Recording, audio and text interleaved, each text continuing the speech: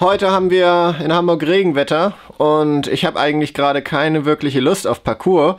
Ich wollte was anderes ausprobieren. Die heutige Präsentation mache ich mit ja, äh, was nimmt man für ein Videoschnittprogramm? Ja, richtig, PowerPoint, Microsoft PowerPoint.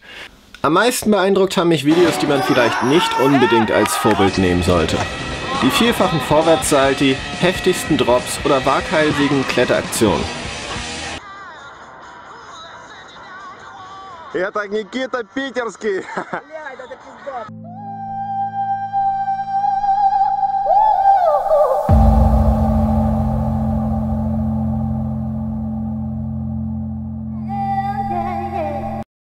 Das sind aber nicht wirklich die Videos, die mich inspiriert haben.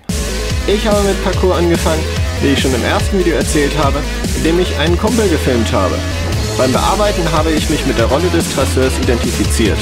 Und nach einiger Zeit dachte ich, das kann ich bestimmt auch. Die Videos, die ich bei den Trainingssessions gefilmt habe, zu denen ich sagen konnte, dieses Kunststück habe ich live gesehen und ich weiß, wie sich der Trasseur hinterher gefühlt hatte. Die waren es, die mir den Impuls gegeben haben, immer wieder Neues auszuprobieren.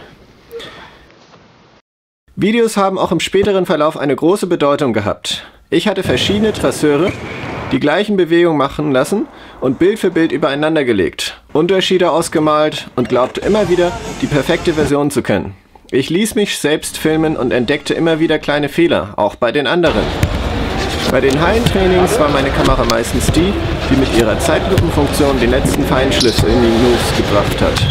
Wie sehr formt sich der Körper beim Frontflip in eine runde Kanonenkugel? Waren die Beine beim Backflip gestreckt? Ab wann verdreht sich der Oberkörper beim Barani, dem Frontflip mit halber Schraube? Meine Kamera hat schon viele Trasseure beim Verbessern ihrer Moves beobachtet.